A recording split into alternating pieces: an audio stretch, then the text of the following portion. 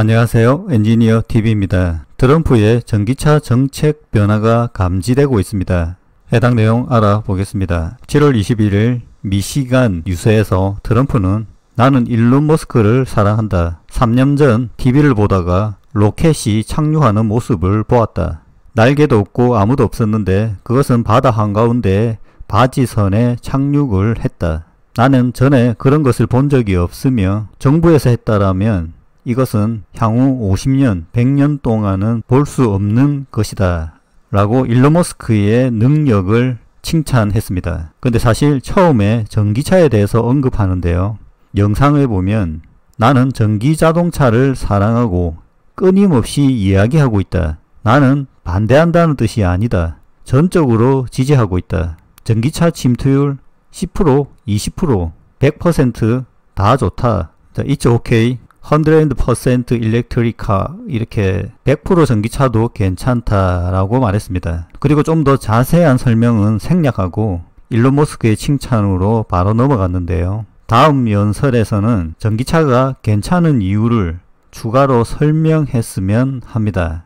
저는 이럴 가능성도 있다고 봅니다. 자, 이런 트럼프의 전기차가 좋아하는 언급은 6월 7일 연설에서부터 시작되었죠. 이때는 일론 머스크와의 관계, 지원이 필요했다고 판단했기 때문입니다. 이때는 나는 전기자동차의 열렬한 팬이라고 했지만 약간 오조가 결국 내연차를 두둔하는 내연차 차별을 두면 안 된다는 부연 설명을 넣었습니다. 7월에는 뺐죠. 6월보다 7월에서 좀 더 전기차 관련 내용에 비중을 높이고 있습니다. 근데 7월 19일 연설에서 트럼프가 다른 어조로 이야기를 합니다. 취임 첫날 전기차 의무를 폐기하겠다. 자, 이런 기사가 나왔죠. 사실 여기 내용도 전기차 법안 폐지라는 내용은 없습니다. 전기차를 반대한다기보다 바이든의 정책을 반대하고 폐기한다는 의미가 더 높습니다. 바이든은 2030년까지 모든 신차 판매의 50%를 전기차로 만든다는 이 의도를 반대하는 거죠. 일론 머스크는 거기에 더해서 전기차 보조금도 폐지하는 데 찬성하는 상황입니다. 물론 향후 트럼프가 EV 보조금까지 없애버리려고 할 수는 있겠지만 그의 최종 목표는 보조금 폐지가 아닙니다. 현재 트럼프가 왔다 갔다 하는데 정치적으로 양쪽에서는 원하는 문구만을 보게 됩니다. 일론 머스크가 7월 20일 특이한 그림을 올렸는데요. Make American Great Again 마가죠. 정확한 설명은 없지만 양쪽의 극한은 다 미국이 잘 되기 원한다는 것인가 중간은 울고 있죠. 또 다른 부연 그림이 있는데 그것은 생략하고 트럼프는 6월 이전에는 공화당 세력의 결집이 필요하죠. 필요했을 것이고 그 이후 총격 사건과 일론 머스크의 지지를 얻은 이후에는 전기차에 대한 입장 변화가 필요합니다. 테슬라는 미국 전기차 1위 기업이기 때문에 트럼프의 전기차 반대와 일론 머스크, 테슬라 지지는 앞뒤가 맞지 않게 되는 것이고 그 이유에 대한 설명이 필요하게 됩니다. 이전에 EV는 정치적이라는 영상을 올렸죠.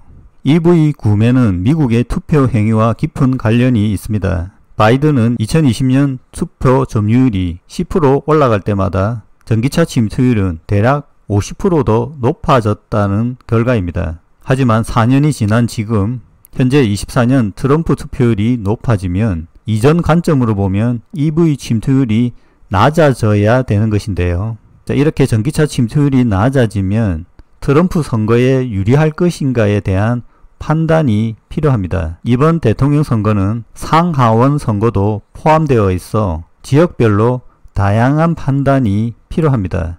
사실 트럼프가 전기차가 중요한 것보다 대통령이 되어서 꼭 할 일이 따로 있을 것으로 봅니다. 그러면 상하원 선거도 이겨야 하기 때문이죠. 자, EV가 정치적이란 것은 아직도 유효하다고 보는데 트럼프가 이것을 혼란스럽게 하거나 아니면 향후 전기차에게 좀 더 유리한 국면을 만들 수도 있다고 봅니다. 일단 가능한 테슬라에게 유리하게 하겠죠.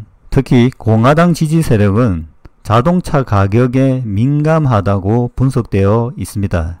현재 마크 저커버그는 태세 전환을 발표했습니다. 그 다음 인물은 GM의 메리 바라 CEO로 보이는데요.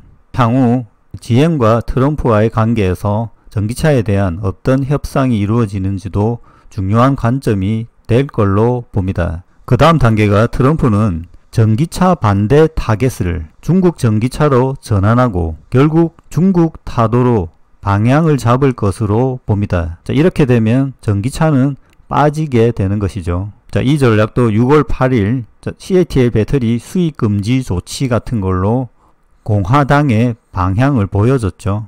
자, 이런 전기차 방향도 공화당 내부에서 가이드를 주는 것입니다. 악법은 공화당 지지 세력은 자동차 가격에 민감하다라고 했죠. 자, 그런 부분을 보완하기 위해서 24년, 25년 매력적인 저렴한 신형 전기차들을 만들려고 하고 있습니다. 자, 이 부분은 약간 시간이 급한데요. 사실 이 부분에서 테슬라는 약간 고민이 있는 것으로 보입니다. 자, 가격은 이 정도 되었고 전기차 외에 FSD 자율주행 로보택시로 이익을 높이려고 하는 방향을 세우고 있고요. 나머지 기업들은 테슬라와 동일한 전략을 가져가기 어렵기 때문에 최대한 가격 경쟁을 할 수밖에 없는 상황입니다. 이 부분에서 중국 전기차와의 경쟁이 되는 거죠. 그래서 중국 전기차를 막을 필요가 있습니다. 다시 마가에서 여기 하단에 보면 트럼프의 전기차 정책 발표에 대해 논평할 건가요? 질문이 있습니다. 사실 테슬라 지지자들이 트럼프 지지자들은 아닙니다.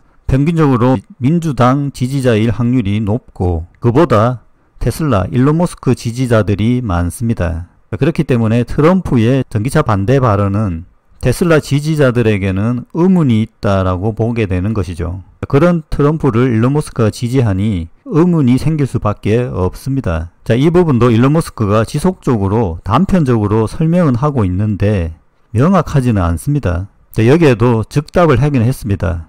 It will be fine. 어, 괜찮을 것이다. 라고 답했습니다. 어떻든 일론 머스크는 전략이 있다라는 것이죠. 사실 트럼프와 협의해보겠다라고 하면 더 좋은데 그 정도까지 정치적으로 다가가기에는 부담이 있다라고 봅니다.